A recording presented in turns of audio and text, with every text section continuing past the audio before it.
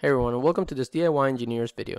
In this video we'll be going over the water level sensor with Arduino. We'll be going over the connections to the Arduino, how to program it with Arduino. We'll also be going of course over testing with Arduino. So hopefully this is something you're interested in. If you are, please stick around for the rest of the video. Let's get started. Alright, so let's start by looking at some of the details of the sensor. The sensor has three pins.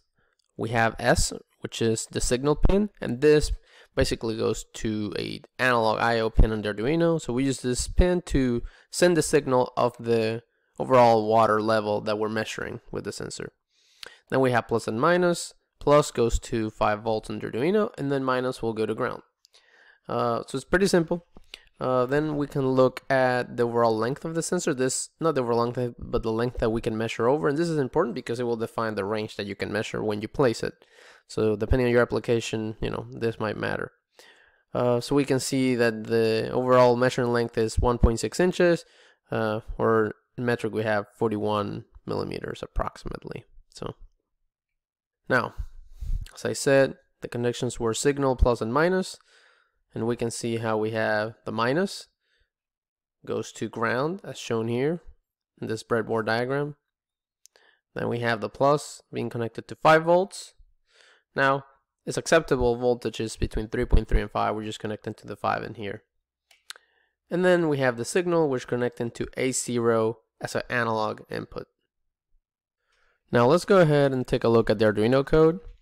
It's pretty simple. So first we call out the analog pin that we're going to be using to take the signal. As I said, this is going to be A0 as shown in the prior diagram.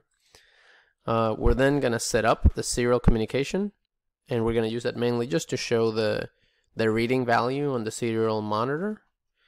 Then when we get to the void loop, uh, we are calling as an integer the water level, which is going to be based on the analog read of level, which is the variable that we define as A0, so the pin.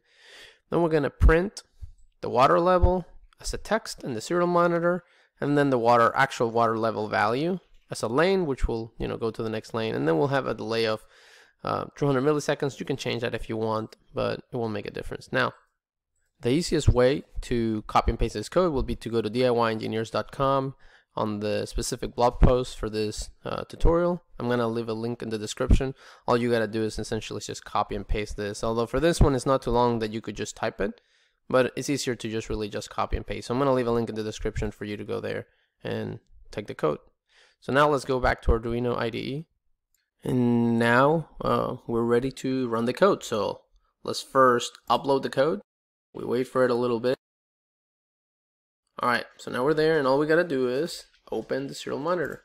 So we can see it's just providing a zero. This means there's really no water on the on the sensor. So, you know, there's no resistance to the flow electricity through the sensor, which means no water level being felt. So now I'll just take the water sensor and we'll dip it in water and you'll see how um, the the reading in the serial monitor will increase. So let's start.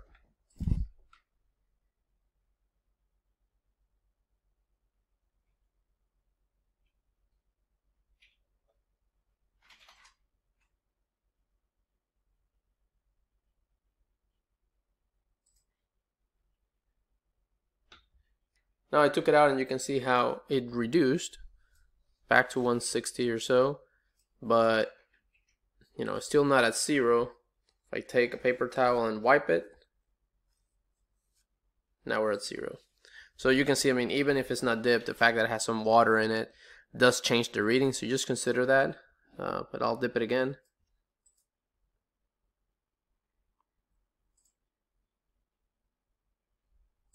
Now take it out.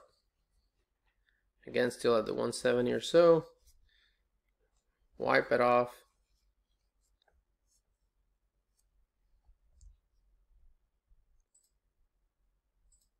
Had some connection issues there.